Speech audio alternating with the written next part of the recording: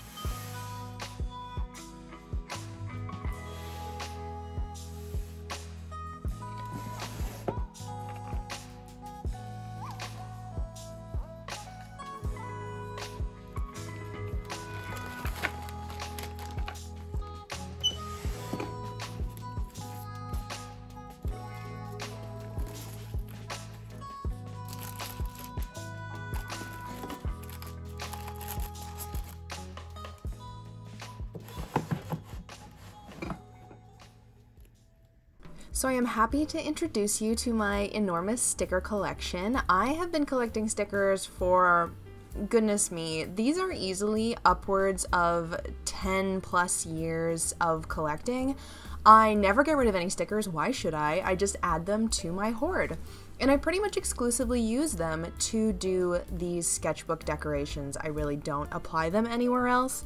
So basically, uh, I'll finish a sketchbook every six months or so, and then I like to have the stickers on the outside have a color theme to them. So right now I'm just going through all of the single stickers and then all of the sticker sheets to pick out some stuff that has a cohesive color theme. So I'll usually choose like a sticker that I really want to be on the sketchbook and then kind of build out from there. And what ended up, uh, I guess, being discovered through this process was a blue and green color palette using the yellow as an accent and um, bringing in some browns that are of that same color family as the yellow. The larger single stickers are the most important part because they're going to be taking up the bulk of the space and then the sticker sheets I usually use as the smaller because like when you're designing something you want to have a size hierarchy so it's all about finding stuff in different sizes to fill every hole and the first thing I'll do is lay them all out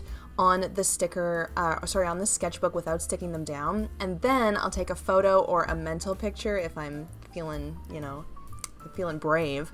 And then I'll take the backings off, put them all down, start layering from the back up. It's kind of fun to have a little bit of layering and then start filling in the micro holes with some of the smaller pieces that I picked out. Sometimes when I'm working on them, I'll peel them back and re-stick them a few times. Unfortunately, this does lead to a little bit of a decline in the um, like quality of the stick to the actual sketchbook And unfortunately, over time, some of the stickers do start to come unpeeled or get a little wear on them because they're not like the highest quality vinyl, but it's all part of the process of the sketchbook. Start fresh, just like all the empty pages inside, and as time goes on, fill it up and add your unique texture to how it looks.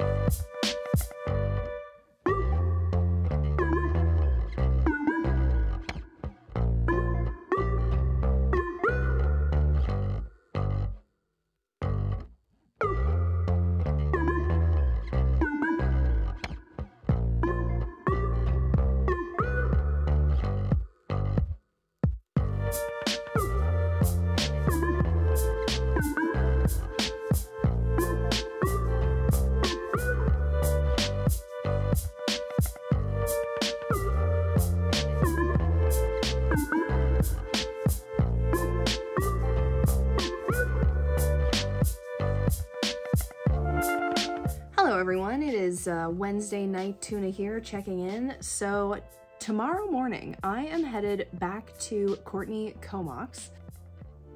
Please, I need to sneeze. Let me sneeze. Free me. I think it's like extremely dusty in my apartment because I was sneezing all day in here this morning and when I was out, I was not sneezing at all. And here I am sneezing again, so Anyway, yes, so tomorrow morning I am headed out to Courtenay Comox to do a very chill evening craft market that's called like the Geeky Craft Market, I think. Geeky Winter Market, Geeky Christmas Market, Geeky Gift Market, something to that effect. And this is organized by the same people who did the con that I did back in the spring, if you remember the vlog from that video. I had an amazing time and the vendors who were there told me that they did this Christmas thing, so I had my uh, ears open and my eyes peeled for when applications went live. I jumped on that, grabbed some booth space, and I'm off to go do it again. my strategy here is because my uh, mom is actually driving me to the island and then we're staying in her place while we're there, I've decided to just throw everything that I have into bins and figure it out when I get there. I don't remember what size booth space I got. I'm pretty sure it was like a bigger one. I don't remember if I requested a table, so I'm gonna bring my table just in case. And I'm bringing the rest of the t-shirts that I have, a bunch of tote bags, and hopefully I won't have forgotten anything. One of the really weird things actually is that I have this set of pins called the Kitty Cafeteria pins. I sold out of one design, but I still have like a very small handful of the other three and I cannot for the life of me figure out where they are. The last time I would have seen them would have been at the Etsyco market at the beginning of October. I could not find them for Pentacon and still I am like, where have these pins gone? One of these days they're gonna turn up and it's gonna be a real big surprise. But other than that, I think I have everything packed up. Weather is not looking great, so we'll see how the weekend goes. But either way, nice to get out of town, do another chill small town, literally it's like from 3.30 to 8.30 p.m. or something. It's so short. I don't know what to expect, but it works out to be a good excuse to spend some time with my family. And it's a very soft start on what's going to be a very chaotic Christmas market season. I will finish up packing my personals, I will go get a good night's rest, and I will see you guys in the morning.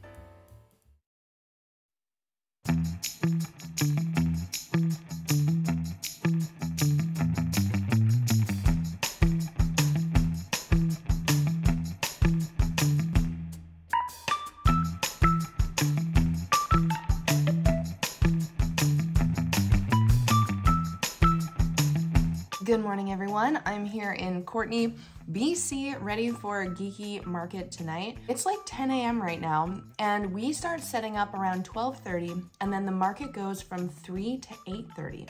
Definitely the first time I've ever done this sort of evening quick turnaround kind of setting. I'm looking forward to it. I don't barely any stress because like it's so low stakes just being a few hours in the afternoon. I came up here with my family this time, so my, they're gonna drive me to the event and like I was able to bring like all of my display stuff without having to really worry about it. I can just get there and figure it out on the spot rather than having to really carefully select which items to bring because of weight and single human managing to carry stuff abilities. I was told by the people at the spring market that this winter market was really good. They said it was better than the spring market. That remains to be seen. I'm also skeptical since it's literally one evening and I don't think I'm gonna have the volume of sales over one evening that I did over two days.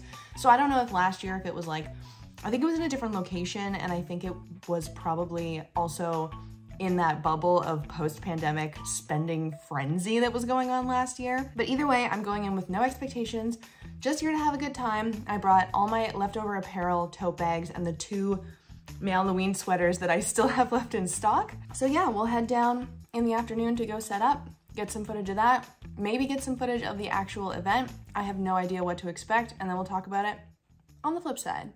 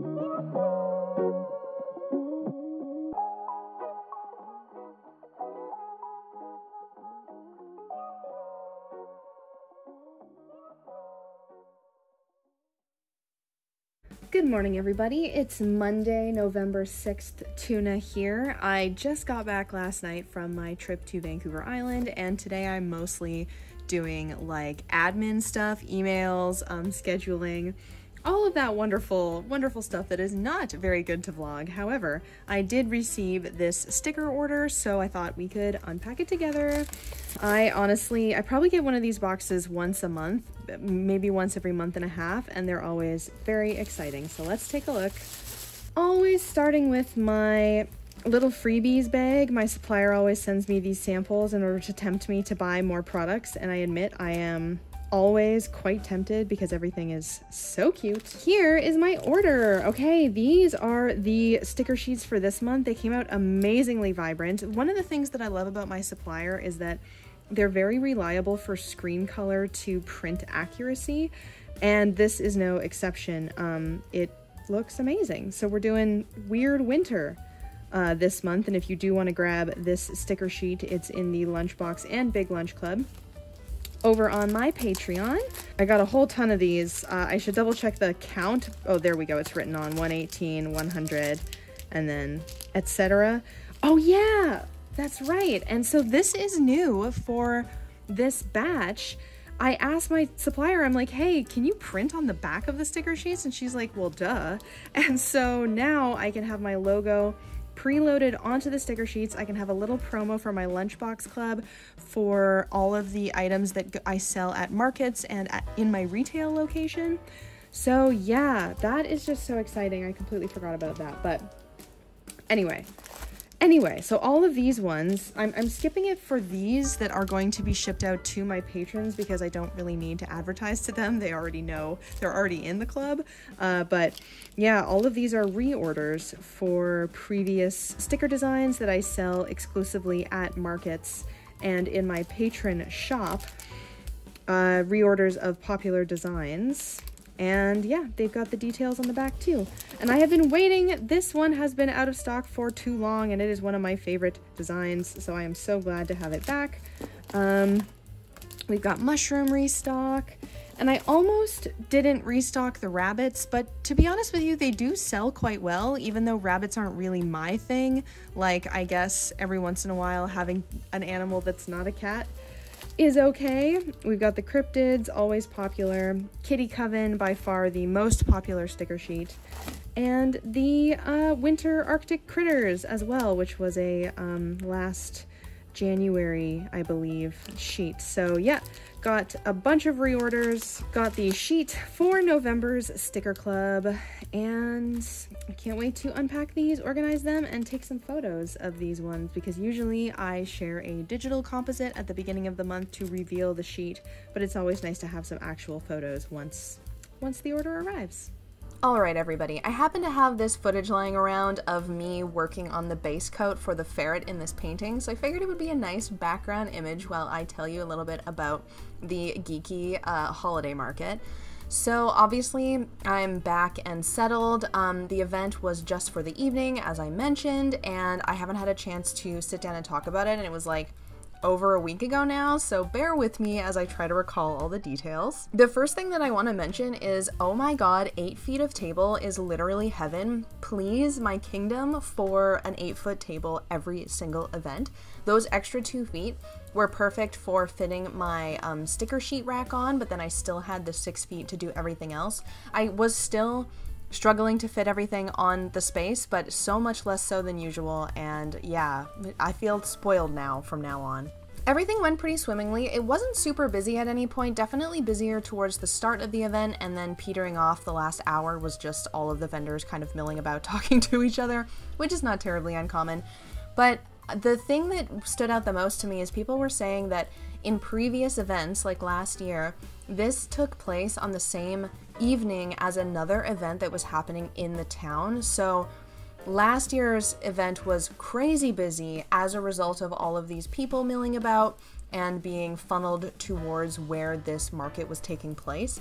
And that wasn't the case this year. It was a different weekend, so we really only had kind of like the usual crowd, which I should also mention a lot of people who I met at the spring market we're here at the winter market, and it was really fun to see those similar faces again, to say hello, see their costumes, or just, you know, have a chat, whatever it may be. May be. And on that note, too, pretty much all of the vendors were exactly the same from the spring one as well, which is I guess to be expected when you're talking about this very small area, there's only so many vendors who want to come up to do the event, and I'm the only one there from Vancouver. And I do feel a bit like, look at me when I'm setting up and everything, but I guess I'm used to like a bit of a different vibe for the shows, so you know, I gotta do me either way. And the market ended up going pretty well. For just an evening, I made as much as I did in a day at the spring one. So if I recall correctly, it was like gross a thousand each day of the spring market, and I did a thousand in sales um, just over the evening. And I think I've mentioned this in previous vlogs, and if I haven't, now's the time. But I have been enjoying the boost in the actual sales number that comes from selling the higher ticket apparel items. So, yeah, it's hard for me to compare because I didn't have apparel at that event in the spring, but I was making the same volume of sales. So, like, I think I sold more items in the spring than I did at this one, but at the end of the day, the numbers still shook out to be like worth my time and like I really enjoyed the event. It was very laid back. Again, like talking to people, you when you don't have an onslaught of customers, you have time to have a chat with whoever wants to have a chat with you. So there were a few things that came up with the people in the community that I kind of wanted to follow through on. Like people were like, "Oh, would you teach classes?" And I'm like, "Oh my god, yes, I would love to teach classes." So might look into something like that for next year. Who knows? It was also fun to have my mom there, who was helping me out. She's like, she works in a store. Like her husband and her run a store, so she's used to kind of like paying attention and prepping things and chatting. And so she was able to like grab me bags and stick labels on stuff, which was really helpful, especially because we had like two hours to set up and I used that full two hours because as I mentioned, I had no plan for my table going into it. So it was like, okay, what do I have? What am I gonna do with what I have? Um, and so it was great to have her there on backup for needing that all that time. And I think given that this was pretty successful and the spring one was pretty successful, I fully intend to continue to return as long as they'll have me. One of the strange things is that the even though it's a small event, like I the organizer, I, I don't know who the organizer is. Um, they haven't like approached me to introduce themselves, which often at smaller events the organizer will go around and check in with all the vendors. So I don't know what the deal with that is necessarily, but yep, I'll definitely come back to the spring one, hopefully come back to the Christmas one as well. And this was a wonderful start to a very, very busy upcoming craft market season. So yeah, let's let's let Faced Tuna take it away from here and tell you a little bit more about that. Alright, so just a little bit of housekeeping to wrap things up in the video. Yes, I'm going to be very busy through November and December with Christmas markets. I just ended up saying yes to too many things, so almost every single weekend I am going to be doing a market through to Christmas. I'm like 50% dreading it and 50% excited. You guys will see all of that here in the vlogs over the next couple of months. But it does mean that I'm probably going to be cutting back to one video every two weeks. It's just a little, little too much for me to try to manage one video every single week, so sorry in advance if the upload schedule is a little reduced for the time being. If you are in the lower mainland or you are gonna be in Vancouver next weekend, please come find me at the Gotcraft Holiday Market. Gonna be there on Saturday and Sunday and I am dropping a ton a ton of new stuff for it, so stay tuned. But now we are at the point of the video where I say thank you to all of my amazing patrons over in my snack pack on Patreon. These guys are the reason that I can make videos, period. You can pop over there and support me for as little as a dollar. Every single pledge makes a huge difference. You can see sketchbook flip-throughs of the sketchbook that I showed you at the beginning of the video. You can get some digital downloads when I have time to make them. I do a monthly newsletter podcast, sometimes I post recipes. And if you want to support me at the 10 or $25 tier, I also send you mailable rewards every single month, which you saw earlier. That's gonna be for this month, November 2023, the Weird Winter sticker sheet. So if you do wanna grab one of those,